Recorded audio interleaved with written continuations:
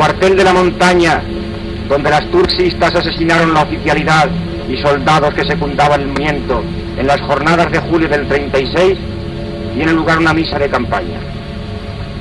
Al religioso acto asisten con algunos supervivientes las familias de los héroes inmolados en aquel lugar, caídos por la patria una, grande y libre, dentro del Madrid.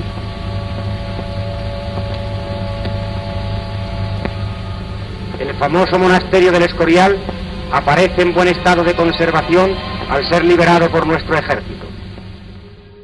Sin embargo, los dirigentes marxistas y el gobierno del Frente Popular lo despojaron de preciadísimas joyas que encerraba. Desapareció la biblioteca que encerraba tesoros incalculables para la historia y en sus salas y galerías faltan sus cuadros más preciosos que han sido robados. Desde la caída de Madrid, la ofensiva es un paseo militar y van ocupando provincias enteras sin hallar resistencia. Las tropas nacionales se aproximan a las inmediaciones de Valencia y ocupan Sagunto. El 29 de marzo caen las ciudades de Cuenca, Guadalajara, Ciudad Real, Albacete y Jaén.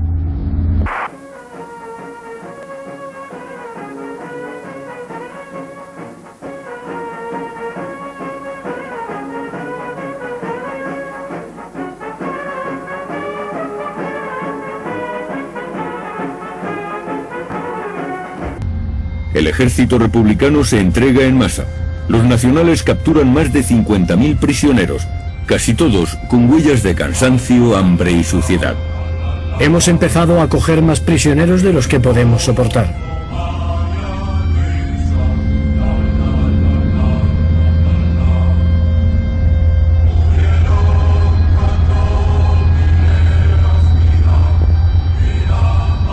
Paseo de la Castellana de Madrid marchan los militares republicanos hechos prisioneros ante los mandos nacionales y la población. El 30 de marzo llegan las primeras tropas nacionales a las afueras de Valencia y Alicante. Van llegando a Valencia y Alicante, todavía en poder republicano, miles de refugiados que se amontonan en los puertos a la espera de poder embarcar. El 28 de marzo, Casado hace un llamamiento a la serenidad desde Valencia. La evacuación de refugiados está prevista a través de los puertos de Valencia, Alicante, Cartagena y Almería, con barcos suficientes para todos.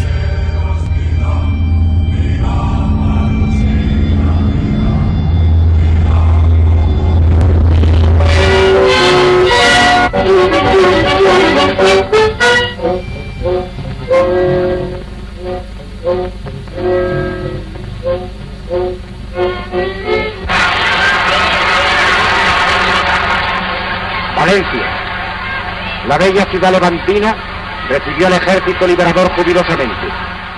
Motivo, primero de Madrid y luego de Barcelona, aplaude al paso de los héroes que han terminado la guerra con la victoria rotunda de las armas nacionales, sin pactos ni contratos humillantes, bajo el mando del caudillo.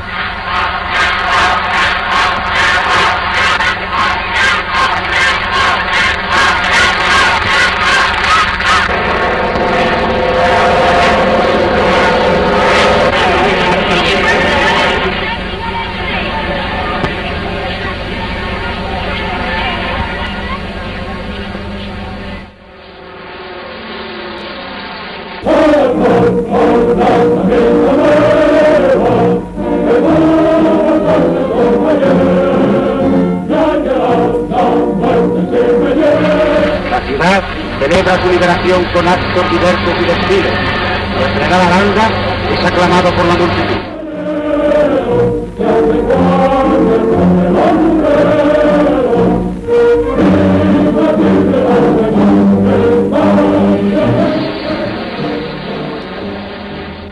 Durante los días 28, 29 y 30 de marzo no dejan de llegar masas de refugiados y entre ellos miles de soldados armados al puerto de Alicante. Alicante era la retaguardia de la retaguardia, el último territorio de la República. Cerca de 12.000 personas, entre civiles y soldados, se agolpan en el muelle el 30 de marzo, esperando los barcos que nunca llegarán. Las esperanzas están puestas en barcos franceses e ingleses. Al amanecer del día 31, los refugiados ven aproximarse un barco, pero no es francés, sino un buque nacional, el Júpiter. Al mismo tiempo, el CTV italiano rodea el puerto. La ratonera de Alicante termina por cerrarse. A las 14.45 horas del 1 de abril, Alicante, la última ciudad republicana, se rinde. El Mediterráneo de Alicante vuelve a España.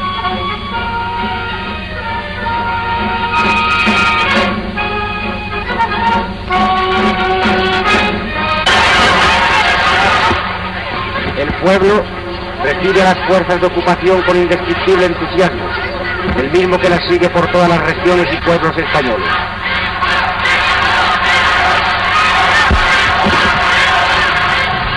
En Alicante cayó para siempre la voz profética y ejemplar del fundador del movimiento, José Antonio Primo de Rivera. Esta es la cárcel de Alicante donde José Antonio sufrió prisión y fue fusilado el 19 de noviembre de 1936.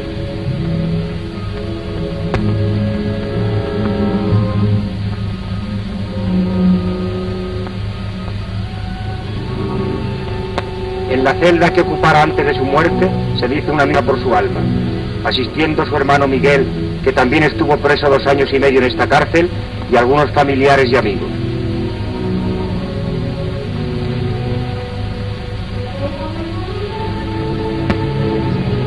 Este es el lugar donde el cuerpo de José Antonio fue acribillado por las balas de los piquetes marxistas.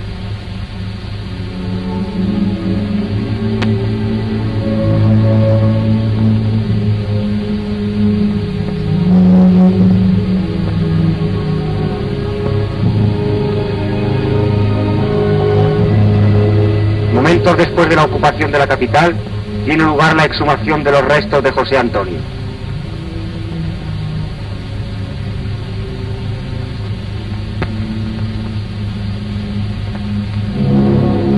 El cadáver es reconocido por las medallas que llevaba en el pecho y que sus hermanos le dieran para el trance final, siendo colocado en un nicho del cementerio hasta que la patria le rinda honores y le traslade al panteón definitivo.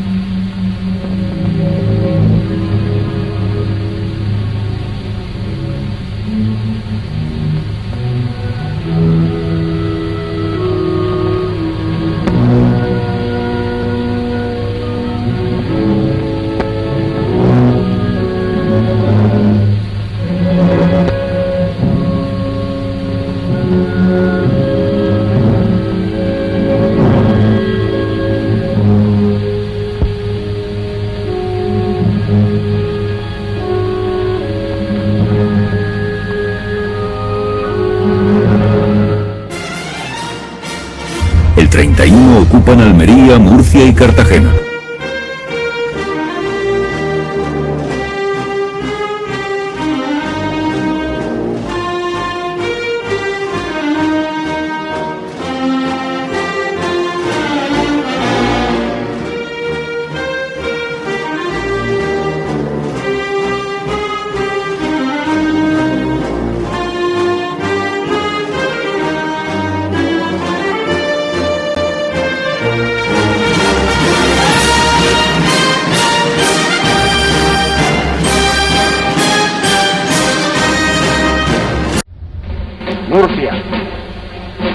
Recién liberada la ciudad de Murcia, se verifican en ella los actos de la Semana Santa y por sus calles vuelven a verse las tradicionales procesiones y los famosos pasos.